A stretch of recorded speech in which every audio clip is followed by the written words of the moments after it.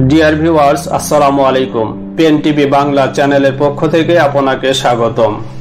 Dear viewers দুনিয়ার মায়া মমতা ছেড়ে মহান রব্বুল আলমিনের ডাকে সাড়া দিয়ে ইহ জগৎ থেকে চির বিদায় নিলেন বিশিষ্ট আইনজীবী, সাবেক মন্ত্রী ও বিএনপির স্থায়ী কমিটির অন্যতম সদস্য ব্যারিস্টার মৌদুদ আহমেদ।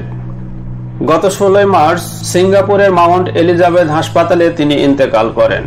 ইন্না ওয়া ইন্না ইলাহি রাজিউন। মৃত্যুকালে তার বয়স হয়েছিল একাশি বছর। ডিয়ার ভিউয়ার্স দলের তৃণমূল নেতাকর্মীদের কাছে জেনে নেওয়া যাক, সেই উনিশশো চল্লিশ সালে নোয়াখালী জেলার কোম্পানিগঞ্জ উপজেলায় জন্মগ্রহণকারী ব্যারিস্টার মদুদ আহমেদ একজন রাজনীতিবিদ ও ব্যক্তি হিসাবে কেমন ছিলেন?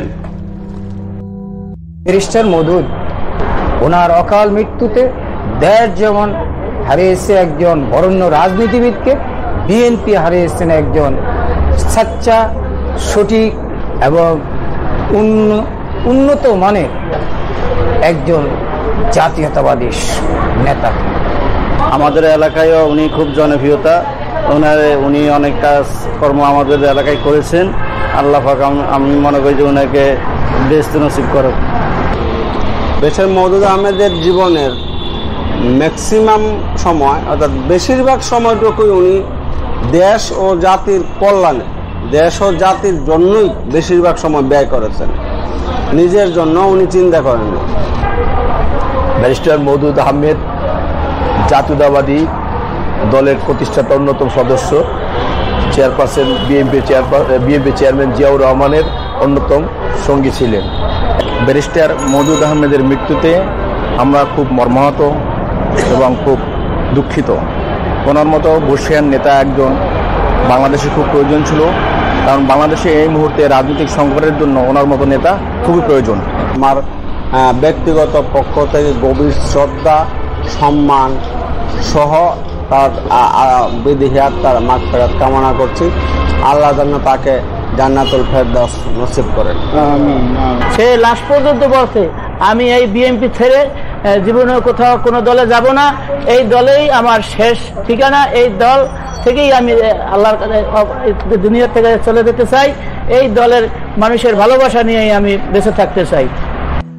কোম্পানিগঞ্জ অনেক ছেলেমেয়েদেরকে চাকরি দিচ্ছেন এবং অনেক উন্নয়ন করছেন এবং নোয়াখালী কোম্পানিগঞ্জে ওনার মতো লোক আবার হবে কি না, এটা আমরা জানি না, হওয়ার মতো না। কারণ ওনাদের পরিবারটাই ব্যারিস্টার এবং উনি এই দেশের জন্য জাতির জন্য অনেক কিছুই দিয়ে গেছেন। একটি জাতীয়তাবাদী দলের বিএনপির একটি অন্যতম বিশাল প্রাণপ্রিয় মানুষ হারালাম। বেশেম মহদুদ আহমেদ শুধু নোয়াখালীর নেতা না, বেশেম মহদুদ আহমেদ সারা বাংলাদেশের একজন জাতীয় নেতা।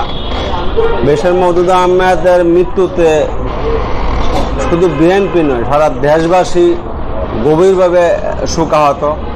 আমরা সবাই শোকাহত। এরকম একজন বিশিষ্ট রাজনীতিবিদকে হারানো মানে দেশের রাজনৈতিক অঙ্গনে একটা শূন্যতার সৃষ্টি হওয়া। ব্যারিস্টার মৌদুদ আহমেদ নিঃসন্দেহে একজন ভালো মানুষ ছিল।